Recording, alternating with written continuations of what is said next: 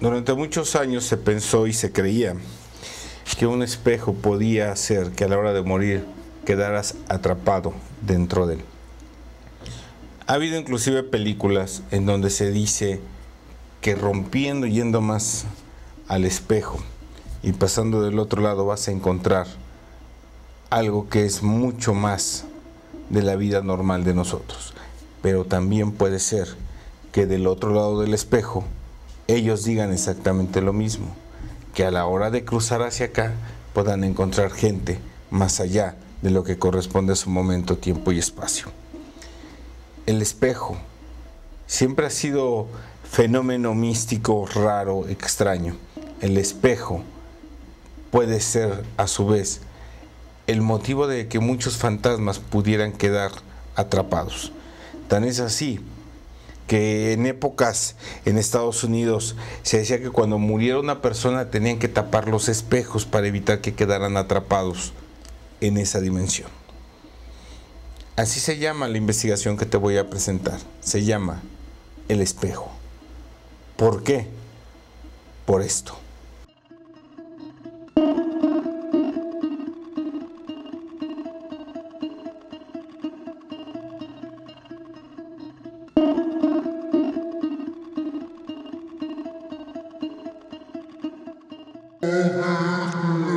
Estaba durmiendo y sentí así junto a mi cama una sombra de alguien, para como si alguien estuviera para junto a mí, lo cual no me pude ni mover ni nada y este y pues nada más sentí esa sombra ahí, los que me despertaron fueron mis hijos diciéndome que qué me pasaba, que porque les había dicho algo con otra voz. Y otra ocasión así estaba en mi recámara y de mi recámara la de mis hijos había un espejo en un pasillo y alcancé a ver en el espejo que una sombra se paró de la cama de uno de mis hijos. Wow, el espejo. El espejo que guardaba a un fantasma. ¿Podría ser testigo mudo este espejo de la muerte de alguien? Una pregunta que valdría la pena poder investigar y checar.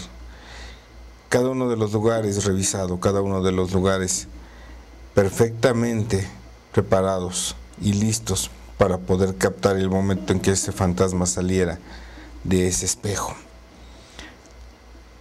Todas las mediciones que hicimos eran exactas. Cada uno de los investigadores colocado en cada lugar estratégico. Todos iban con una idea en la cabeza. Ubicar y capturar al fantasma del espejo. Cuando empezamos a rastrearlo, empezamos a ver que esto empezaba a aumentar.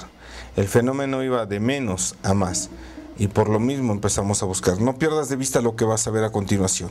Ve, este es el lugar donde se aparece el fantasma, el espejo que está de tu lado derecho. Es ahí donde sale este, este, este ser de otro mundo y se alcanza a distinguir.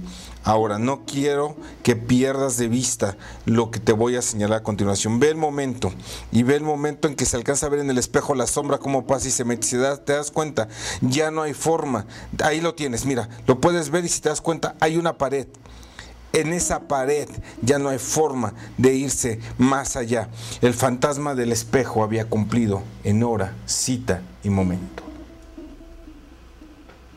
¿Qué pasaría si a lo mejor tú estás ahorita en el momento delante de un espejo y quedaras atrapado? O a lo mejor ese espejo ya tiene atrapado a un ser que está esperando por ti.